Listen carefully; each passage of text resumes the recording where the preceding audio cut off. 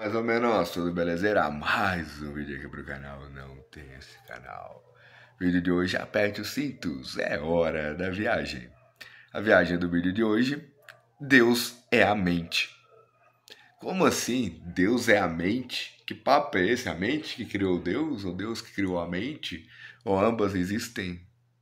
Enfim, o que, que se fala sobre Deus? Que Deus é onisciente, onipresente e onipotente. Essas três car características que só Deus tem.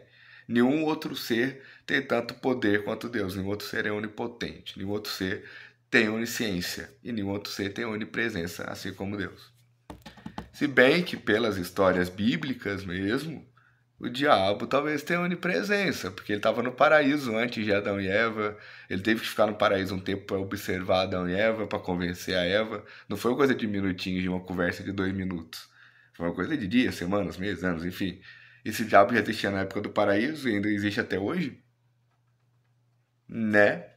Onipresença. Então, estava presente no paraíso, que o paraíso é um mundo paralelo, um mundo diferente do nosso mundo. O paraíso não existe aqui dentro da Terra.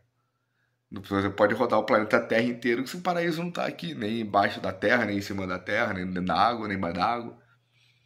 Então, né, é o, mais de um pode em várias dimensões, né? Então, tem que respeitar, né? Tem que ter medo, porque como que não vai ter medo? Como que não vai respeitar uma criatura que tem poder para ir numa, em várias dimensões e para existir ao longo do tempo, existir durante todo o tempo? Mas enfim, por que, que Deus é a mente? Vamos lá. Onisciência, onipresença e onipotência. A mente é onipresente. Porque a mente, passado, presente e futuro, para a mente é simultâneo, acontece na mesma hora, no mesmo momento. Tanto que quando você lembra de coisas ah, do seu passado, sejam emoções muito fortes, né? Tanto pro lado positivo, emoções boas, felicidade, alegria e tal, quanto pro lado negativo, de tristeza, de, de morte, de perda, enfim, de algum trauma.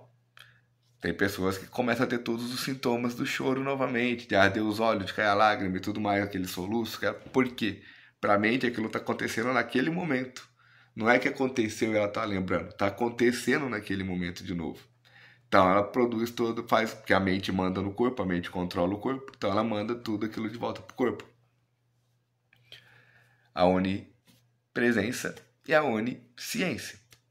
E a onipotência fica por conta da questão de criar as coisas. Porque esse celular, a internet, Primeiro estava na mente de alguém para depois virar celular, para depois virar internet. Tudo que existe estava na mente para depois virar aparecer no mundo real. Então a mente cria. A mente tem o poder de criar. A mente tem o poder da onisciência e da onipresença, porque a onisciência é o conhecimento do passado, do presente e do futuro.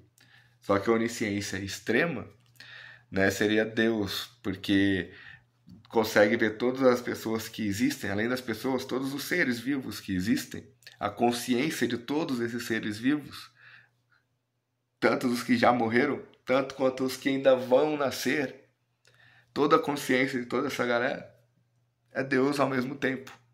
Ou seja, todas as consciências individuais se juntam, formam o Megazord que forma Deus.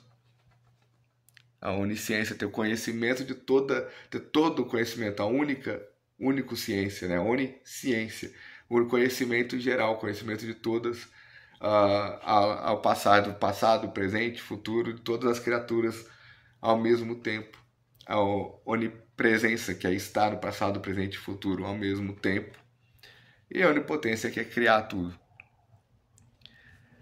Então ainda dizem que quando a gente dorme, a gente sai do corpo, né? E dizem que quando o corpo morre, a alma, o espírito continua vivo. Por quê? Porque é só uma parte, é só um pedaço, é só uma partícula, é só uma mini consciência da consciência total, da onisciência total, que é Deus. Deus não é uma criatura com CPF, com CNPJ, com corpo. Deus nunca precisou de ter um corpo físico. Nós somos o corpo físico de Deus, todas as criaturas que já morreram, as que ainda vão nascer, de todas as espécies. Essa que é a questão. Porque se você analisar tudo, todas as histórias mitológicas, todas as histórias religiosas, toda a astronomia, astroquímica, astrofísica, a própria física, a física quântica, a fisiologia, juntar tudo, você pode chegar a essa conclusão e com esse resumo né, dos três, onisciência, onipresença onipotência, conhecendo a mente, sabendo que a mente tem essas, essas qualidades. E também aquela outra frase lá, Deus está em tudo e sem Deus nada existe. O átomo está em tudo, a mente está em tudo, a consciência está em tudo. E sem o átomo, sem a consciência sem a mente, nada existe. Para mim, faz sentido dizer que Deus é a mente, por causa dessas questões todas. Agora, se só por fazer sentido isso é uma verdade absoluta, só fazer sentido tá certo, aí já não sei. Aí já é uma questão, cada cabeça é sua sentença, não tem nada a ver mais comigo. Eu só quis postar esse vídeo porque eu achei interessante essa forma de pensar e quis compartilhar. Se acha que faz sentido também ou não, não quero convencer ninguém, não estou aqui para influenciar ninguém, para dizer que tem, tem, que ser, tem que ser isso e que é a verdade absoluta e que se as pessoas não verem isso, elas estão erradas, se as pessoas não verem isso, são piores, são inferiores, e não tem nada disso. É apenas um vídeo que eu quis compartilhar. Então já encerrou por aqui. Paz para todos. Fui.